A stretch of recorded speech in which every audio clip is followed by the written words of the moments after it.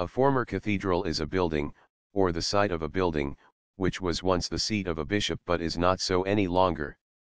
This may be because that bishopric has ceased to exist, or has been relocated.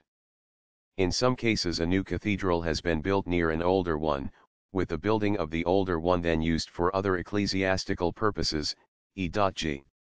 Where a cathedral building is modified or rebuilt, possibly several times, on substantially the same site in a series of developments over time, the earlier versions are not counted here as former cathedrals.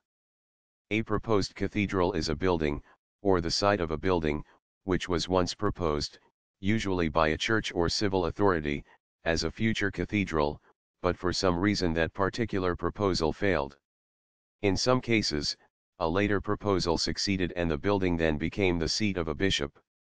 Nonetheless, the building concerned will be listed as a proposed cathedral on account of the failure of the earlier proposal.